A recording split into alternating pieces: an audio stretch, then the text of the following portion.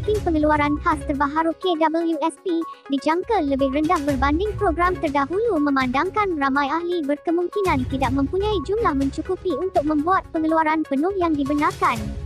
Ahli Ekonomi Seks CIMB, Nazmi Idrus, berkata orang ramai juga dilihat semakin kurang memerlukan sokongan kewangan, ditambah pula dengan jangkaan pulangan pelaburan yang baik pada masa hadapan berikutan prestasi mantap KWSP tahun lalu. Beliau berkata, pengeluaran khas KWSP yang diumumkan baru-baru ini adalah sesuatu yang mengejutkan, memandangkan langkah yang diambil sebelum ini adalah ketika sekatan pergerakan dilaksanakan, manakala pengeluaran terbaharu dibuat di tengah-tengah pemulihan ekonomi. Sehubungan itu, beliau menjangkakan jumlah pengeluaran lebih rendah antara 15 bilion ringgit hingga 20 bilion ringgit disebabkan jumlah dana ahli yang terhad.